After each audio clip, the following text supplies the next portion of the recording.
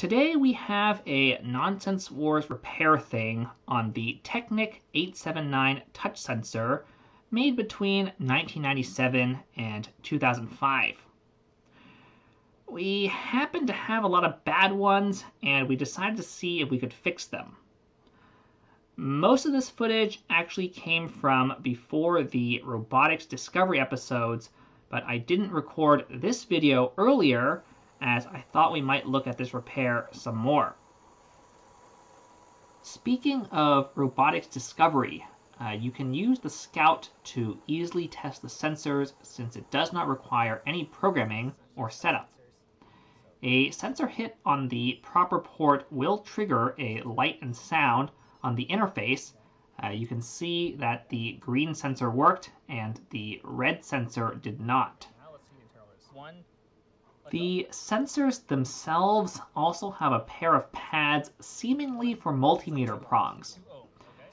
Again, you can see that a touch on the working green sensor closes the circuit with a small amount of resistance, and a touch on the broken red sensor does nothing.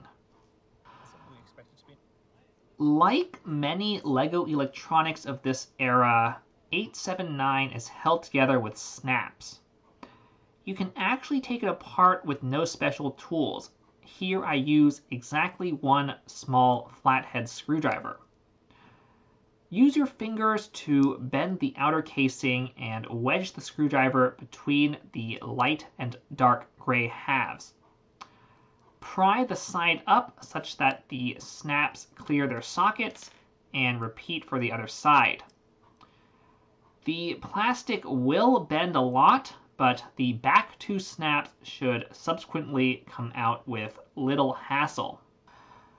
Do the top half of the shells have a difference? Too? Now we can see how the sensor works. The plastic yellow bumper pushes on an elastic switch. The black material should trigger a touch when it hits the two contacts on the outer case, but oh, this substance has apparently lost its conductivity in the broken sensors. We aren't certain how often or what causes it to degrade, but given LEGO's track record with other non-plastic materials, I'm not too surprised. At this point, we have good and bad news. We actually came across two variants of the rubbery component, a squiggly one and a square one. The bad news is that we don't have a good fix for the squiggly one, but the good news is that we have a very easy fix for the square one.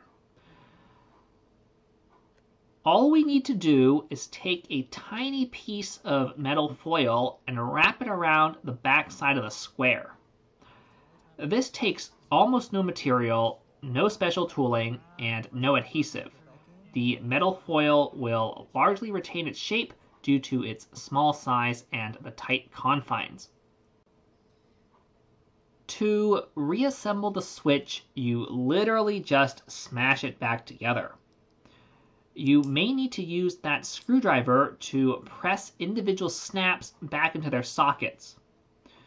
You can also file down the snaps a little bit in order to make reassembly or later disassembly uh, easier. Just make sure not to file them too much. As you can see, this repaired and reassembled sensor works just as it should. As for the squiggly switch variant, we simply could not find a way to affix a conductor to the part. Super glue doesn't adhere well to the switch or the foil and a wrapping does not retain its shape on this odd geometry. The fact that the part itself distorts when actuating also hurts both of these solutions.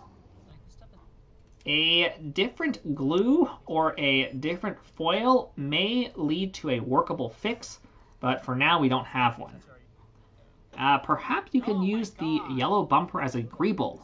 They apparently fit minifig hands, and therefore most clips, though they don't quite seem to have the standard LEGO geometries. So should be this. Anyway, give us a like if you found this helpful, or leave a comment if we're doing it wrong. Uh, check out those older Scout videos, or stay tuned for another old set review eventually that uses these sensors. On that note, this is the end of the video, so have a nice day.